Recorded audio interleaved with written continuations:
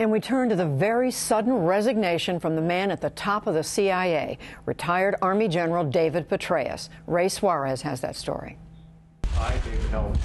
The stunning news came just 14 months after Petraeus was sworn in as CIA director, his wife Holly at his side.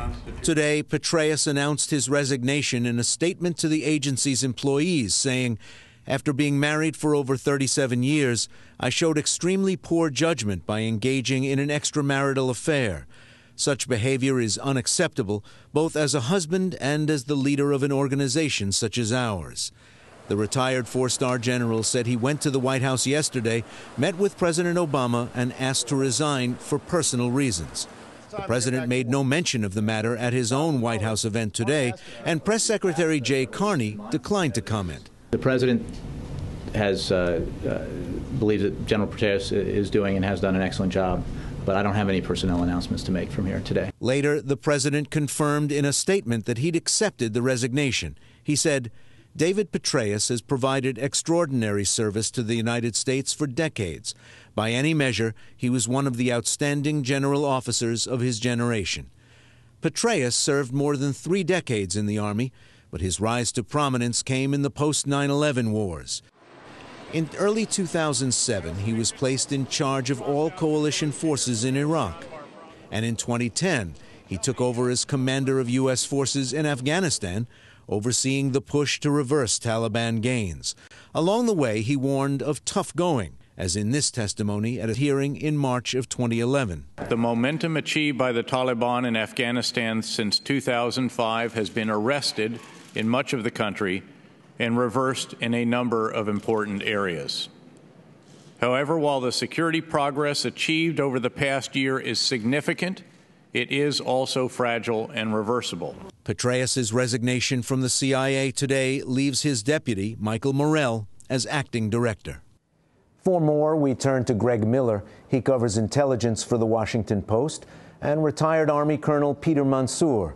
He was executive officer for General Petraeus during the surge of forces in Iraq in 2007 and 2008.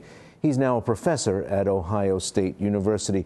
Greg Miller, attention, according to many news reports, is focusing on General Petraeus's biographer and the fact that the general came to the FBI's attention during an investigation. What can you tell us?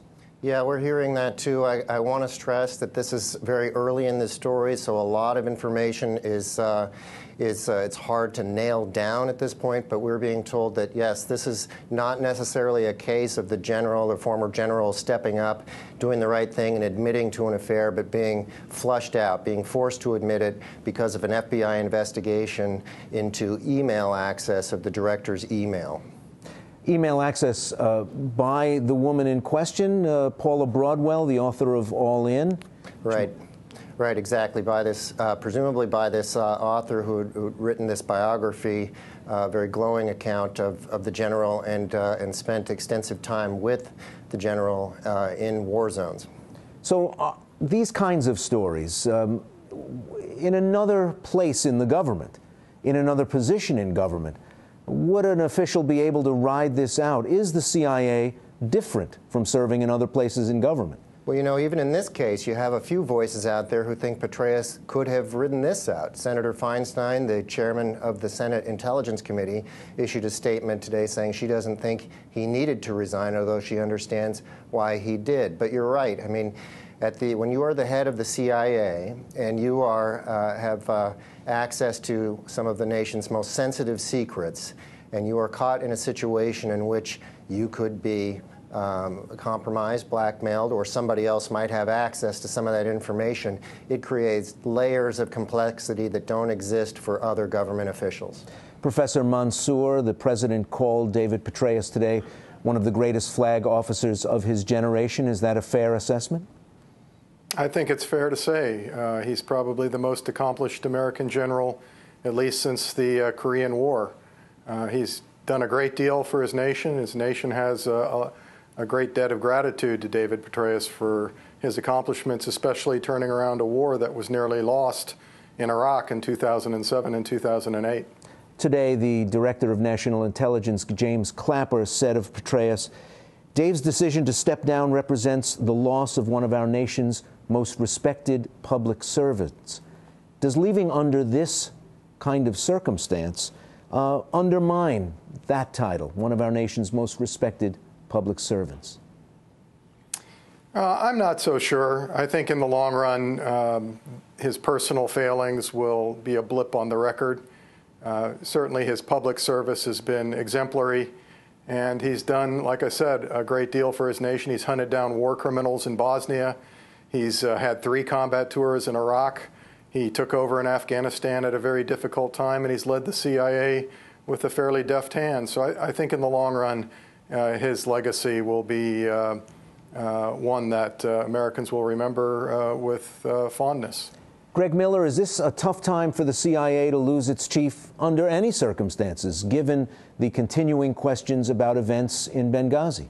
Yeah, and that and, and that has already uh, led to a lot of speculation on the timing of this departure by the director. I mean, this is coming just a couple days after the election. There are questions about whether um, you know whether the administration knew this was coming. White House officials insist that was not the case, and that President Obama was stunned.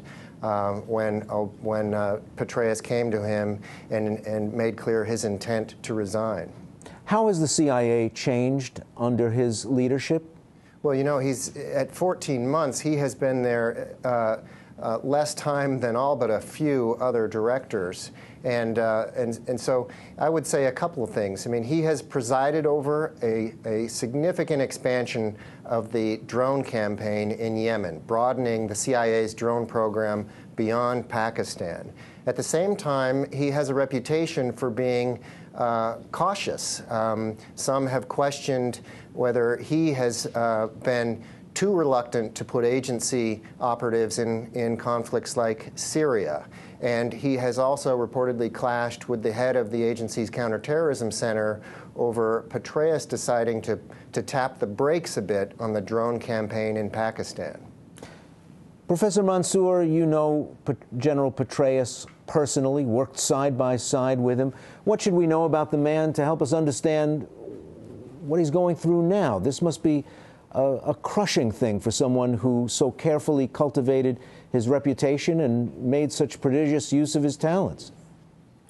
Well, there's no doubt that he understands this was an unacceptable personal failing. Uh, it's very surprising to those of us who have known him, uh, who have known how driven he is in his professional life, and uh, really how uh, upstanding he's been uh, to this point, at any rate, in his personal life. Uh, he, you know, refused to drink alcohol when he had the opportunity to in Iraq because the troops didn't, couldn't drink alcohol. He, he was, in every respect, uh, the paragon of, uh, of propriety. At least when I was there for the 15 months, I lived right next door in a bedroom right next door to him. And, you know, he built his entire career on public service to the nation. He he sort of envisioned himself as the, the modern day uh, General George C. Marshall, who, after a, a long career in the U.S. Army, uh, became Secretary of Defense and Secretary of State. Um, this has got to be a, a, severe blow to General Petraeus, and uh, you know our thoughts and prayers go out to him and his family in this time of healing, hopefully.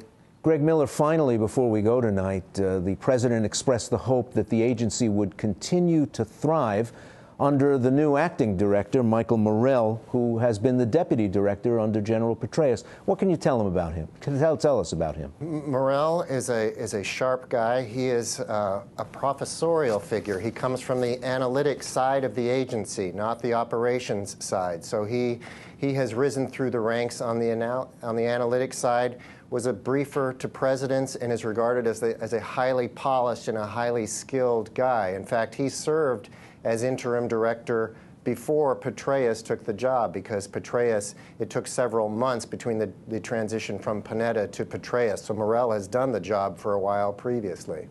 Gentlemen, Greg Miller from the Washington Post, Professor Mansoor, thank you both for joining us.